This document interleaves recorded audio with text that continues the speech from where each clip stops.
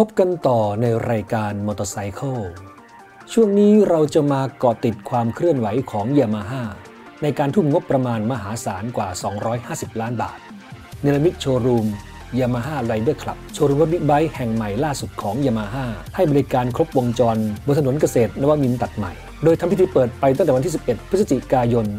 2518 ที่ผ่านมา ในงานครั้งนี้นะครับได้รับเกียรติจากคณะผู้บริหารของยามาฮ่าทุกคน รวมถึงแขกผู้มีเกียรติต่างๆนะครับตั้งแต่บริษัทไฟแนนซ์ dealer ร้านจำหน่ายของตัวเองนะครับรวมถึงสื่อมวลชนมาร่วมกันกันอย่างมากมายครับข้างในงานครั้งนี้ พิธีการเริ่มต้นขึ้นโดยการตีกลองเบิกฤกษ์เบิกชัย นี่คือพิธีการอย่างเป็นทางการนะครับของการเปิดโชว์รูมแห่งใหม่ของยามาฮ่าในครั้งนี้ จากนั้นได้มีการเชิญผู้บริหารสูงสุดของยามาฮ่าก็คือมิสเตอร์เทสซิยาอินามุระ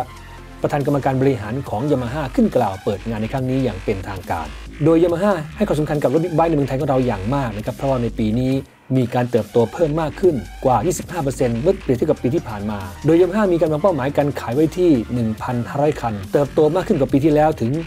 30%โดยมีการนำเสนอรถบิ๊กไบค์ต่างๆ มากมายหลายรุ่นนะครับประกอบไปด้วย R Series MT Series และ Max Series จากนั้นนะครับคณะผู้บริหารของยามาฮ่าพร้อมด้วยแขกผู้มีเกียรติก็กดปุ่มเปิดโชว์รูมอย่างเป็นทางการ นี่คือภาพบรรยากาศของความยิ่งใหญ่ กับพิธีเปิดโชว์รูมแห่งใหม่ Yamaha Riders' Club บนถนนเกษตรนวมินทร์ตัดใหม่ บนพื้นที่กว่า 1.5 ไร่ ให้ความสะดวกสบายในการเดินทาง และรองรับลูกค้าได้อย่างมากมายตลอดทั้งปี ในช่วงนี้เรามาฟังคำสัมภาษณ์ของคุณประพันธ์พลธนะวสิทธิ์รองประธานกรรมการบริหารของยามาฮ่ากันดูครับว่า มีความคิดอย่างไรกับการเปิดโชมรมแห่งใหม่ครั้งนี้ของยามาฮ่าครับ เป็นวันที่เปิดโชว์รูมนะฮะ Yamaha Riders' Club อย่างเป็นทางการนะครับ ซึ่งก็เป็นโชว์รูมที่เราสร้างมาประมาณสัก 1 ปีครึ่งได้นะครับโดยที่ลงทุนไปประมาณ 250 ล้านนะที่ดินด้วยค่าก่อสร้างด้วยนะครับการขายของยามาฮ่าเนี่ยอย่างปีนี้เรามีแผนหรือว่าเป้าหมายที่จะขายถึง 1,500 คันนะก็ทำให้มีลูกค้าที่ต้องการบริการ นะฮะครบวงจรจริงๆนะฮะไม่ว่าจะเป็นเรื่องของอะไหล่ช่างเทคนิคนะครับซึ่งศูนย์แห่งนี้ก็มีทั้งหมด 6 เบด้วยกันนะแล้วก็มีเทคโนโลยี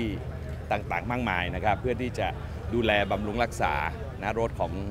ลูกค้าของเราอย่างเต็มที่นะครับส่วนเรื่องของรถนั้นบริษัทไทยยามาฮ่ามอเตอร์ก็เปิดตัวนะครับในในสินค้า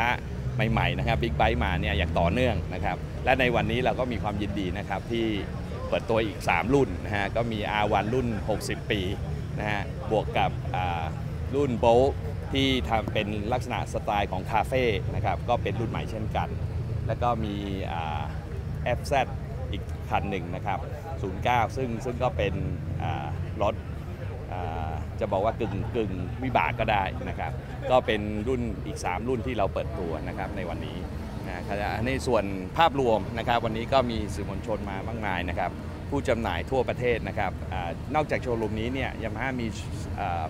ผู้แทนจำหน่ายทั่วประเทศอีก 12 แห่งนะครับ ก็หัวเมืองใหญ่ๆทั้งหมดนะครับ ก็มาร่วมด้วยนะครับรวมถึงบริษัทไฟแนนซ์นะครับ ก็ต้องขอบคุณด้วยนะครับ เพราะบริษัทไฟแนนซ์ก็สนับสนุนยามาฮ่า นะอย่างดีตลอดเวลานะครับ แล้วก็โดยเฉพาะอย่างยิ่งบิ๊กไบค์ก็มีความจำเป็นตรงนั้นด้วยนะครับ ก็โดยภาพรวมนะครับก็เปิดเป็นทางการไปเรียบร้อยวันนี้นะและเย็นนี้ก็จะมีกิจกรรมนะฮะหรือว่ามีปาร์ตี้เล็กๆ ให้กับลูกค้ายามาฮ่านะครับที่ขี่บิ๊กไบค์ทั้งหมดนะเริ่มตั้งแต่6โมงเป็นต้นไป จากนั้นก็เป็นพิธีการเปิดผ้าคลุมรถใหม่ 3 รุ่นของการเปิดโชว์รูมครั้งนี้นำโดย Yamaha YZF R1 นะครับสีเหลืองสดคันนี้นี่เอง นี่คือ YZF R1 รุ่นฉลองครบรอบ 60 ปีของ Yamaha Motor ได้รับเกียรติโดยมิสเตอร์เทสยะอินามุระเป็นผู้เปิดผ้าคลุมรถ ซึ่งรุ่นนี้นะครับนำเข้ามาเพียงแค่ 10 คันเท่านั้นในแบบ Limited Edition ราคาอยู่ที่ 929,000 บาทครับ ซึ่งจะมีราคาแพงกว่า YZF R1 รุ่นธรรมดาที่ตั้งไว้ 899,000 บาท ประมาณ 30,000 บาทครับสำหรับ Yamaha YZF R1 สีเหลืองคันนี้นะครับเป็นรุ่นฉลองครบรอบ 60 ปีของ Yamaha Motor ญี่ปุ่น บริษัท Yamaha ตั้งขึ้นมาในปี 1955 นับถึงวันนี้เป็นเวลากว่า 60 ปีพอดีครับยามาฮ่าเป็นบริษัทเดียวที่มีการสนับสนุนการแข่งขันมาอย่างต่อเนื่องทุกปีตั้งแต่ตั้งบริษัทขึ้นมา และในปีนี้นะครับยามาฮ่าจะกลับมาลงสู่การแข่งขัน World Superbike อีกครั้งหนึ่งด้วย YZF R1 รุ่นนี้นี่เองครับรุ่นลายกราฟิกของ Yamaha YZF R1 สีเหลืองคันนี้นะครับจะเหมือนกันกับรถแข่งยามาฮ่าที่ลงทำการแข่งขันในปี 1978 ด้วยฝีมือของเคนนี่โรเบิร์ตครับแชมป์โลก 3 ปีซ้อน World Grand Prix 544เป็นสีรถแข่งที่เป็นอมตะนิรันดร์การของยามาฮ่าก็ว่าได้ครับยามาฮ่า YZF R1 นั้นนะครับขณะนี้ต้องบอกคุณผู้ชมเลยครับว่าเป็นที่ร้อนแรงอย่างมากมาย กับโมเดลใหม่ของปี 2015 นะครับ มีผู้จับจองมากมายถล่มทลายในช่วงหนึ่งปีที่ผ่านมา ส่วนคันนี้ก็คือ FJ09 นะครับ Sport Touring หรือ Sport Adventure รูปแบบใหม่ เปิดตัวครั้งแรกในงานครั้งนี้ FJ09 หรือ MT09 Tracer ชื่อแตกต่างกันนะครับ แต่ว่ารูปทรงภายนอกทุกอย่างเหมือนกัน FJ09 เป็นรหัสที่ใช้ในอเมริกา ขณะที่ MT09 Tracer ใช้ในยุโรปครับ โดดเด่นด้วยดีไซน์แบบ Sport Touring กึ่ง Adventure เครื่องยนต์ 3 สูบเรียง 850cc Double Overhead Camshaft 12 วาล์ว ให้พลังแรงม้าและแรงบิดที่สูงมากนะครับ รุ่นนี้สามารถดิฟเข้าโค้งได้อย่างสบายๆ เป็นเอกลักษณ์เฉพาะของ MT09 หรือ Master of Torque นั่นเองครับ FJ09 นะครับวางราคาไว้ที่ 479,000 บาท แพงกว่า MT09 ทั้ง 3 โมเดลที่มีขายในขณะนี้นะครับ MT09 รุ่น standard นั้นอยู่ที่ 399,000 บาท MT09 Sport Tracker นะครับราคาอยู่ที่ 433,000 บาท และ MT09 Street Rally ราคาอยู่ที่ 453,000 บาทครับก็จะเห็นว่าราคาของ FJ09 นั้นอยู่บนเพดานสูงสุด รุ่นท็อปสุดของตระกูล MT09 ก็ว่าได้ ซึ่งรุ่นนี้ได้มีการออกแบบดีไซน์แตกต่างจาก MT09 ทุกรุ่นนะครับที่ได้กล่าวมา เน้นคอมเมน touring เดินทางท่องเที่ยวทางไกลทุกรูปแบบจะแอนเวนเจอร์ก็ได้นะครับเพราะฉะนั้นนี่คือรูปแบบใหม่ของการเดินทางกับ FJ09 ครับ รุ่นที่ 3 ของการเปิดตัวในวันนั้นก็คือ Yamaha Bolt C Spec หรือ Yamaha Bolt Cafe นั่นเองครับ รุ่นนี้ได้มีการนำเจ้า Yamaha Bolt R นะครับมาดัดแปลงรูปแบบใหม่ เป็น Bolt Cafe มีการเปลี่ยนแปลงเบาะนั่งนะครับรวมถึงการติดตั้งตูดมด หรือว่าพลาสติกที่คลุมท้ายรถนะครับในแบบของ Cafe Racer นี่คือการปรับแต่ง modify รถมอเตอร์ไซค์ cruiser ให้กลายเป็นมอเตอร์ไซค์แบบ Cafe Racer ได้อย่างสวยงามลงตัวเป็นอย่างยิ่ง แนวทางของ Cafe Racer ก็คือการเปลี่ยนแปลงตำแหน่งของแฮนด์นะครับเป็นแบบจับโช้คอัพสไตล์การหมอบขี่ ที่เป็นลักษณะเฉพาะของ Cafe Racer นั่นเอง รุ่นนี้ยังคงใช้เครื่องยนต์ V Twin 950 cc 4 จังหวะนะครับให้พลังแรงม้าแรงบิดที่สูงกว่า Harley Davidson รุ่น Sportster 883 ครับ ขับเคลื่อนด้วยสายพานนะครับแล้วก็ไฟท้ายแบบ LED ให้ความโดดเด่นสวยงามเป็นอย่างยิ่งยามาฮ่าวางราคาโบลซีสเปคคันนี้อยู่ที่ 439,000 บาทครับ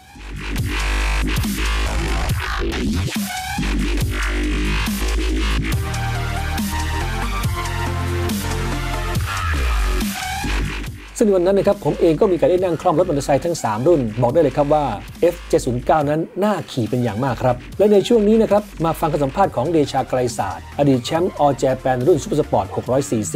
ที่มาร่วมกันในครั้งนี้ รู้สึกอย่างไรลองฟังกันดูครับครับก็สำหรับวันนี้นะครับผมเองก็จะเป็นตัวแทนนักแข่งนะครับ ทีม Yamaha Thailand Racing Team นะครับ ก็อยากจะขอ แสดงความยินดีนะครับกับ Yamaha ที่วันนี้นะครับเปิดโชว์รูมใหม่นะครับก็เป็น Yamaha Rider Cup นะครับก็ขอแสดงความยินดีแล้วก็ขอให้ Yamaha Rider Cup นะครับที่เปิดโชว์รูมใหม่นี้นะครับขายรถดีๆ แล้วก็มียอดขายดีๆนะครับแล้วก็ให้เจริญรุ่งเรืองขึ้นไปนะครับ แล้วก็พวกผมก็อยากจะฝากนะครับผลงานแล้วก็อยากจะฝากให้แฟนๆติดตามชม แล้วก็เชียร์พวกเรานะครับทีม Yamaha Thailand Racing Team นะครับที่จะแข่งกันใน อีกสนามหนึ่งนะครับที่สนามช้าง International Circuit นะครับในวันที่ 5 แล้วก็วันที่ 6 นะครับธันวาคมเป็นรายการ Asia Road Racing นะครับ ก็อยากจะฝากแฟน ๆ ที่ชมอยู่นะครับ ติดตามชมแล้วก็เชียร์ทีม Yamaha Thailand Racing Team ด้วยครับผม และนี่ก็คือความสำเร็จอันยิ่งใหญ่ของ Yamaha Rider Club โชว์รูมบิ๊กไบค์แห่งใหม่ของ Yamaha บนถนนเกษตรนวมินทร์ กับการทุ่มงบประมาณมหาศาลกว่า 250 ล้านบาท ในการเปิดชุมแห่งใหม่นี้ เพื่อรองรับการเติบโตของบิ๊กไบค์ในเมืองไทย ซึ่งในปีนี้คาดว่าจะมียอดจำหน่ายรวมทั้งสิ้นกว่า 20,000 คัน เติบโตมากขึ้นกว่าปีที่แล้ว 25%ครับยามาฮ่าวางเป้าหมายการขายในปีนี้อยู่ที่ 1,500 คันนะครับเติบโตมากกว่าตลาดถึง 30% โดยจะมีการร่วมงาน Motor Expo ในช่วงต้นเดือนธันวาคมนี้ กับการเปิดที่จับจองทั้ง 3 โมเดลที่เปิดตัวในวันนั้นก็คือ Yamaha YZF R1 ฉลอง 60 ปีของ Yamaha Motor และ F709 b o l 4 Spec ครับ และในเบรกนี้เวลาก็หมดลงแล้วจะตามกันต่อในช่วงหน้าพักสักครู่ครับ